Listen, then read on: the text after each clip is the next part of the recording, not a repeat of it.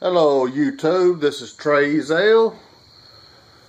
I know y'all can't see it. It was such a beautiful sunrise set. I'm sorry, sunset. And these reels have been cooking pretty good while today. I was to show an update, like a quick video. I don't know how well y'all can see it. I know the lighting's pretty bad. But there they are.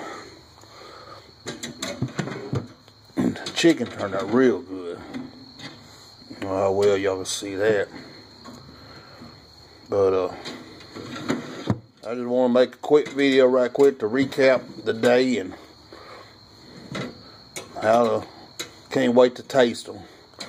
I'm gonna have to put the camera down and get them out and also. I will talk with y'all later. Love y'all. God bless.